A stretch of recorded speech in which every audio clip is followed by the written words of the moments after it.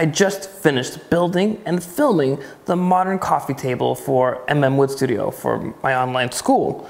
And this is what my assembly table looks like right now. It's got the Woodpeckers flattening mill on top of it, and I've got nowhere to store any of this. I, nowhere. I, I don't have a big shop. I don't have a ton of uh, storage in the shop. So in this video, what we're gonna do is build a cabinet specifically to help store this, as well as some of my Festool products that I've been slowly getting. So what we're gonna do is take some measurements, figure out what this cabinet needs to look like, and then break down some plywood. So let's get started. So I brought some stuff over and I spent a little time trying to figure out how to do this.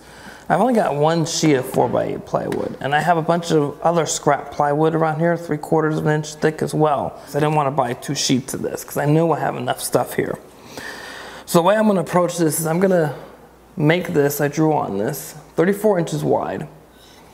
It's going to have three pieces, of course the outer edges, and then this divider here. And they're going to be uh, 13 inches deep. And that's going to allow me to get three pieces out of this sheet. And then I need a top and a bottom, of course. I've got some other three quarter inch plywood around the shop I'm gonna pull the top and the bottom out from. And that will give me the basic structure of the cabinet. I started with breaking down larger 4x8 sheet, first with a cut at 27 inches. That will allow me to have an easier time to rip three pieces down to 13 inches wide. Now after I rip those three pieces, then I move on over to another piece of plywood I have sitting around, which is a roughly 4x4 piece. And so I'm ripping it 13 inches wide. And then the last piece, I cut the 13, but it's gonna be a shelf I put on the wider side. And it's going to be cut at 12 and a quarter inches wide now that I've ripped all that, now I'm going to cut my top and bottom pieces to width. And that's the 34 inches that we're shooting for. Now eight feet tall for a cabinet is really tall.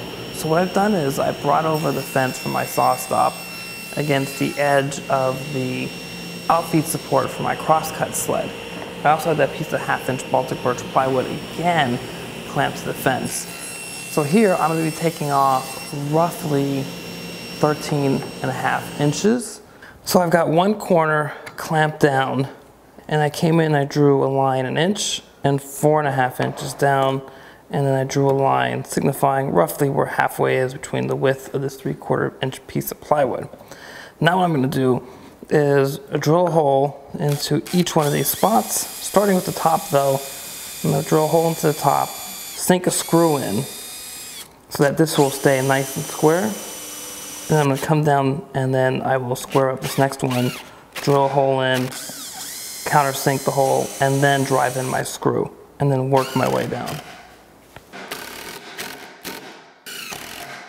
And then I'll continue that process until I got the two sides all attached. Basically, I played around with everything a little bit, and this here, this outer edge for the piece, will give me relatively even amounts on both sides and enough room for a Systainer here and to hang up the sled over here and then put my pieces. So I'm gonna go here with this. It's a little bit off from my original measurement, but it, it satisfies everything.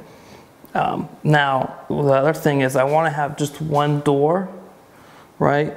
And I can't do that with this here. I'd have to make um, a set of double doors and I don't want to do that. So I'm going to take this piece over to the table saw and rip off three quarters of an inch. And then after realigning everything, did the exact same thing. I just started two inches down from my screw facing the front of the cabinet, four and a half inches, and four and a half inches for the other one, and then one inch from the bottom, and screwed all four of those in. I then turned everything around so it would be facing the camera and first screwed in my two sides to the bottom. And then I went and I just double checked my measurement for how far in the divider plywood should be. Start with the top, move down. Now, since I don't want this cabinet to be on wheels, unlike other cabinets I have here in the shop, like the one I have over near the jointer planer combo machine, um, it doesn't move. I got this two by three piece of select pine here. I'm going to cut this so it's a few inches short on each side of what this width is here on the bottom, which is 34 inches. Then I'll clamp the front piece an inch and a half down from the top and an inch in from each side. And then I'm going to attach it from the inside into it. So take the same screws I've been using and just drill them in this way instead. Then I'm going to transfer my clamps to the back piece and I have it just about maybe an eighth of an inch from the back. And drill in four lag screws that I can use as levelers for this cabinet.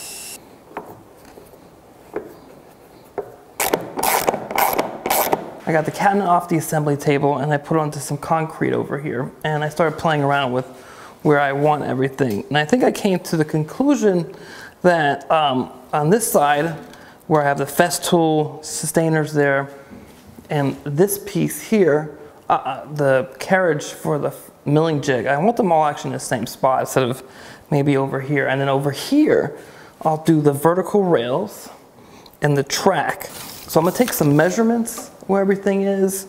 Now on this side where the Festool Systainers are gonna be and the very top where the carriage will be, here I am going to put one floating shelf. I'm gonna drill some holes that are quarter inch in diameter with this system and that yielded me some very nicely placed holes for my floating shelf.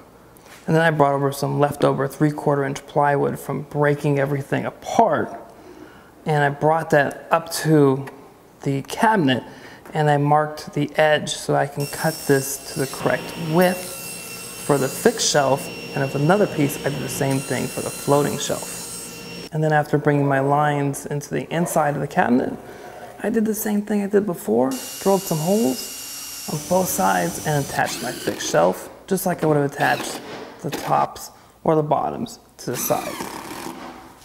After those are attached, I then flip the cabinet over, take a measurement for the width, then head over to the table saw, and I take just about a 16th or so off the width of that measurement and rip that at the table saw.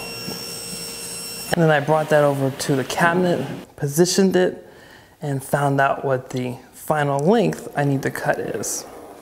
I then flip the piece over and I use some cutoffs from my pieces of plywood to prop that up above the cabinet. And then I used my track saw to cut this to length. And then I flipped the back over and got everything in position so I could attach the back to the cabinet.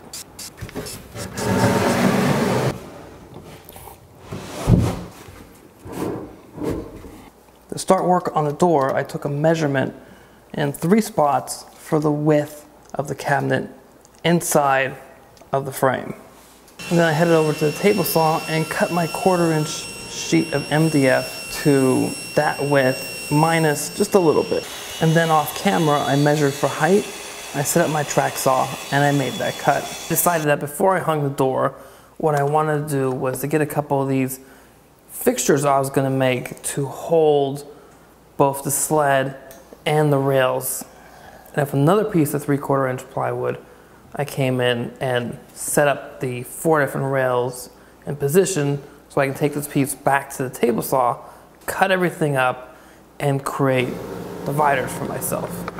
Now this gave me an idea of what the depth would be, and I decided that I actually wanted five pieces here instead of four. So I just add an extra three quarters of an inch to the width of this, and then cross cut that at the table saw. And then with the remaining piece, of this inch Baltic birch plywood, I cross cut five pieces, three inches wide. With everything cut, I then head over to my assembly table, put some glue on one end of each divider, and brad nailed it in. And then I drew some pilot holes for my number eight one inch screws. I did those actually for the back because my bit can't reach the front. And if my screws pre-started, I held my piece up to the divider and drove them in. Now what I want to do is create a couple pieces to help me hang this sled for the router mill. The first thing I'm going to do is cross cut two pieces to 15 inches wide. Then I'm going to come back and rip them both to 8 inches in width. Now the two pieces I cut, I took one to the bottom and then with my square I set it to it's 3 quarters of an inch from the bottom of the red aluminum to the bottom of the piece. And I did the opposite on the other side, making sure it's three and a quarter inches from the top. And then I had two pieces of plywood, which happened to fit really well between the two rails, and they were left over. And I took my pencil and I transferred a line. Now this is right here, right the end of this red, and this is, I'm gonna come out about a quarter of an inch from where I dip in, draw a line. And that will account for the round curve right here. And then I'm gonna take my square. So it's an inch and four, three eighths that is. I'm gonna draw a line inch and a half down from the top. And then we don't really need all that, so what we can do get a piece like this. And now this will be my fence on the front. Now what I can do is come in here with my bandsaw and what I'm gonna do is remove this material right here. So boom, boom, boom. Here's that other piece that's left over. That's a really nice width and it's going to go here and provide support. However, I'm going to bring it over and I'm going to mark where the supports plus a, about an eighth of an inch maybe. Then to take the square, set it down and get a depth.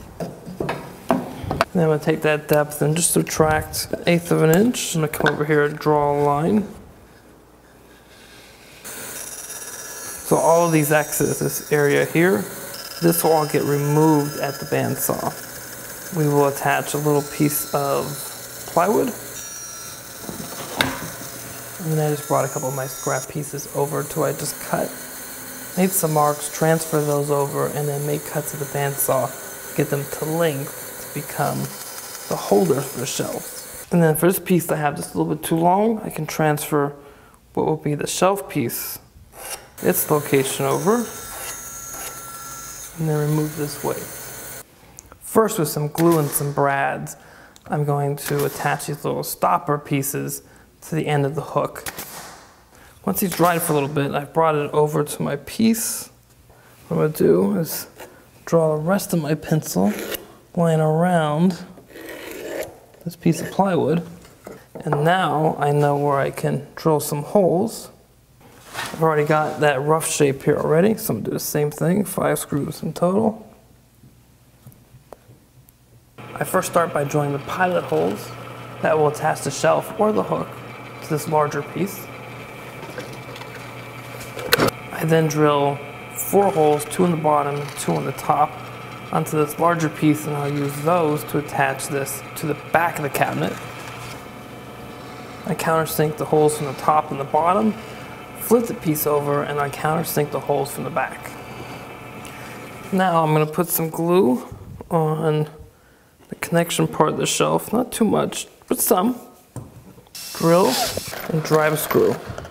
Sorry if this is hard to see, but what I'm doing is I brought over my top piece and I'm using it to help lift up this sled. And once I get it to the height I want, I'm gonna drill some holes, drive in my screws, and get it hung.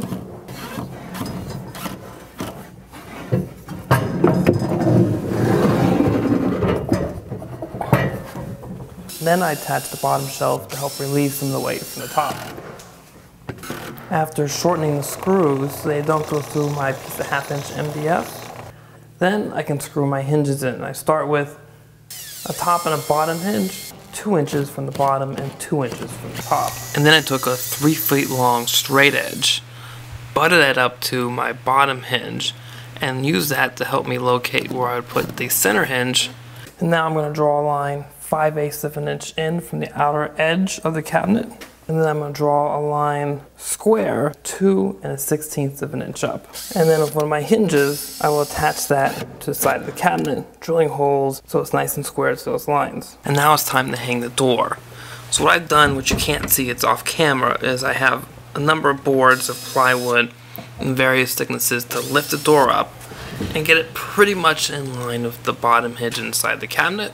I'll install a magnetic stopper so the door closes right where I want every time. With the door on, the handle screwed on, it's time to put some finish on this door to match the rest of the cabinets in my shop. I started this video wearing a hat, I'm gonna finish the video wearing a hat.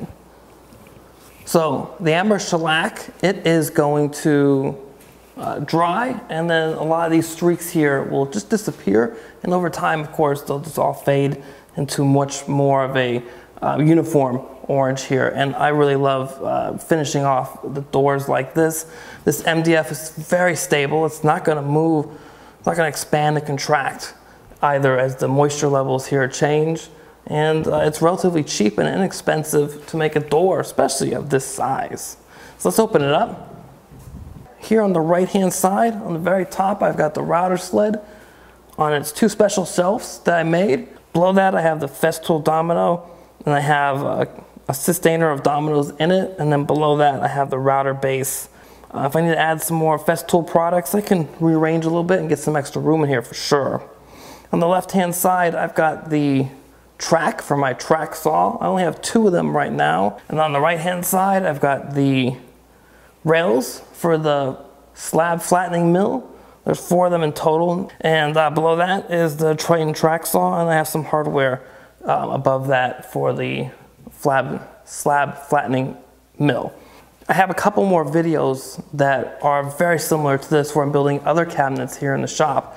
I built some hanging cabinets. I'll have a link to that in the description below, as well as a link up here in the cards.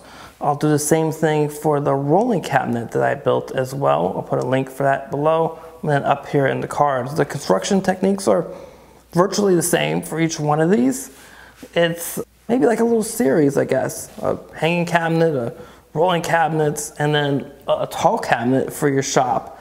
Ways to help you organize your shop uh, which I've used over the years to help me organize my shop. And let me know how you guys organize your shop. Do you build cabinets on your own like this? Do you buy cabinets from like a big box store or what do you do? I'm curious, let me know in the comments below. Um, as always, please subscribe to the channel, share it with your friends, and hit that thumbs up button if you like this video. If you're watching this on Facebook, hit the like button, share your timeline, and head over to the MM Wood Studio page and like us there as well. Now, if you're watching this on IGTV, give us a follow, hit that like button, and as always, as always, as always, have a great week in your shop. Done. Place for everything. Yeah. Ooh, and the crowd goes wild. If you stuck around, I just want to say I'm Jazz. And hopefully you'll build some cabinets to help store all your stuff because we're woodworkers and we need tools to make woodworking projects, right? And uh, that equals needing some storage. All right, we're out. Peace.